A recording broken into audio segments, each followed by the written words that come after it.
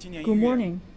In January, for China, it has actually published a 14 five-year plan for the water resource safety initiative. So what is the purpose in drafting these 14 five-year plans in terms of the water resources?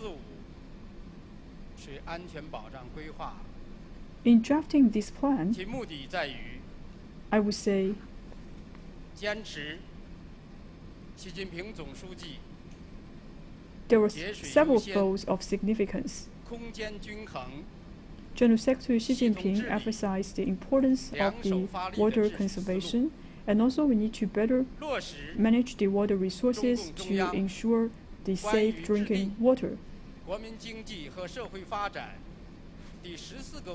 Also, we need to respond to the requirement to the 14th Five-Year Plan and the Long-Range Plan by 2030.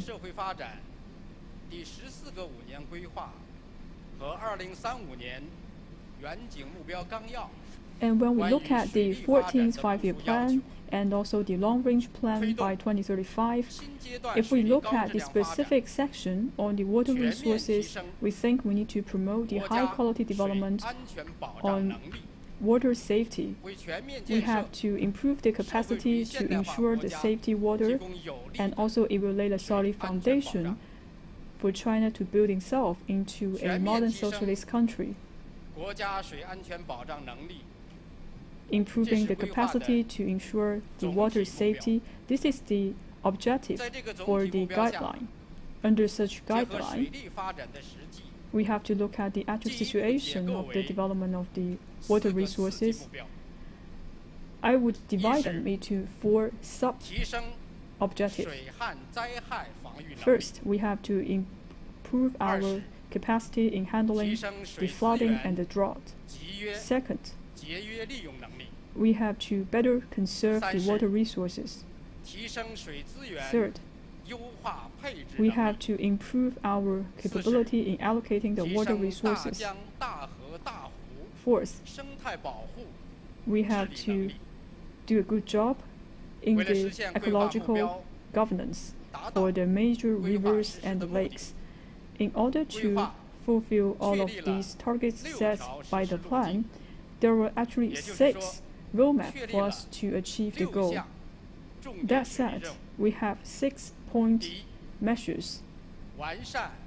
First, we have to improve the anti-flooding mechanism for the river basin. And the second, we have to build up the water safety network for the nation. Third, we have to recover the ecological environment in the rivers and the lakes. Fourth, we have to build smart water resources network. Fifth, we have to establish the plan to conserve the water resources. Sixth, we will provide more legal foundation to protect the water safety. Thank you.